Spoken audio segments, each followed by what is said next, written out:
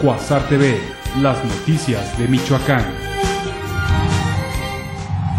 Considera el clero de Michoacán que es de ingenuos pensar que la paz se restablecerá en el estado de la noche a la mañana y conmina a todos los sectores a formar un frente común para trabajar en pro de la tranquilidad. El asunto del, de la paz total o que, ya se va a solucionar esto, pues eso es ingenuo. Las cosas inmediatas no, no son posibles, así como estamos, la paz no se consigue para la semana entrante, esto es como un proceso, un proceso que poco a poco tenemos que trabajar. En rueda de prensa realizada de manera conjunta con el arzobispo de Morelia, Alberto Suárez Cinda, y el obispo auxiliar de Zamora, Jaime Calderón, el obispo de Apaxingán dijo que aunque el operativo federal que se lleva a cabo en Tierra Caliente sí está rindiendo frutos, la situación para la población y la iglesia sigue siendo difícil.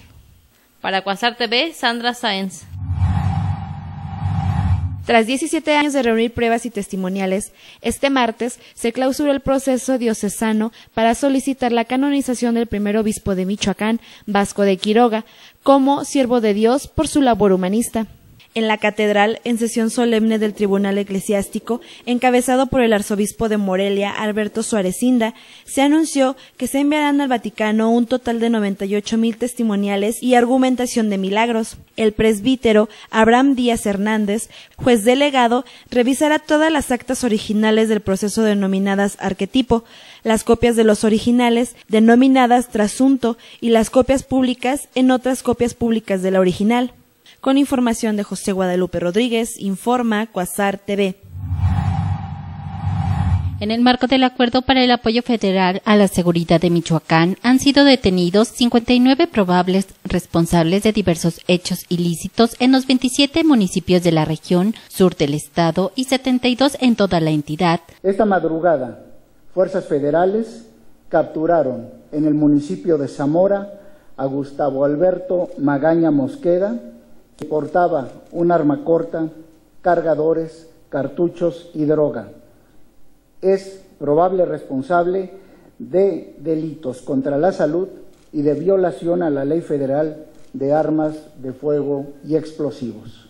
El funcionario federal refirió que al momento de su detención se les aseguraron armas de fuego, cargadores, cartuchos útiles y droga y anunció otra detención. Con información de redacción, informa Cuasar TV. En Michoacán hay 151 pacientes en lista de espera para recibir un riñón y en promedio se realiza el trasplante de 40 de estos órganos al año, por lo que es necesario impulsar la cultura de la donación, dijo el doctor Víctor Chávez, secretario técnico del Consejo Estatal de Transplantes. Tanto el lugar en trasplantes como en donación está entre el décimo y el catorceavo lugar. Creo que estamos a, a mitad de los estados y es una actividad muy importante, actividad que ha sido reconocida por el Centro Nacional de Trasplantes por la actividad. Indicó que son varios órganos y tejidos los que se pueden procurar para salvar vidas o mejorar la calidad de vida de muchas personas, pero hay algunos con más demanda. Para Cuasar TV, José Guadalupe Rodríguez. Un total de 389.537 credenciales del lector de las denominadas 09 y 12 fueron excluidas de la lista nominal de electores a partir del primero de enero de 2014, por lo que sus titulares no podrán votar en las elecciones del 2015, informó el vocal de Registro Federal de Electores del IFE en Michoacán, Jaime Quintero Gómez. Destacó que las credenciales tampoco serán válidas como medio de identificación oficial en oficinas públicas y privadas para realizar trámites, por lo que es importante que acudan cuanto antes a renovarlas.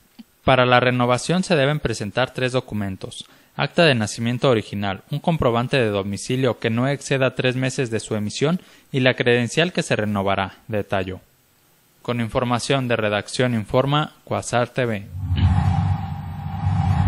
Como parte de los trabajos de capacitación encaminados a la mejora de la plantilla académica del Colegio de Educación Profesional Técnica del Estado de Michoacán, del 28 a 30 de enero se realizará el segundo Congreso Internacional del Docente con Alep. Esto al considerarse que los próximos meses de julio y agosto de este 2014 los profesores del CONALEP serán evaluados como parte de la reforma educativa, por lo que les impartirán cursos, talleres y conferencias en áreas de matemáticas, español, informática, enfermería, automotriz y electrónica.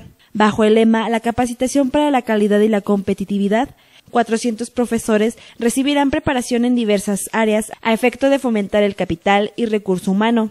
Con información de José Guadalupe Rodríguez, informa Cuasar TV.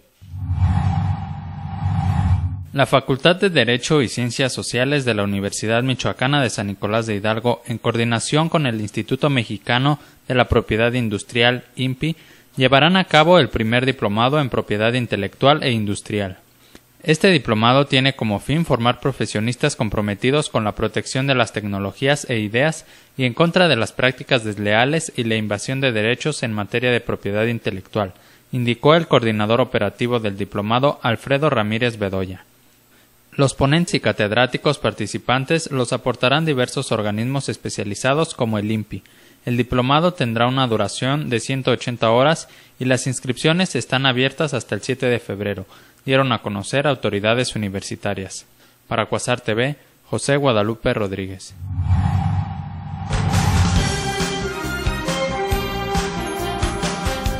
Cuasar TV, las noticias de Michoacán.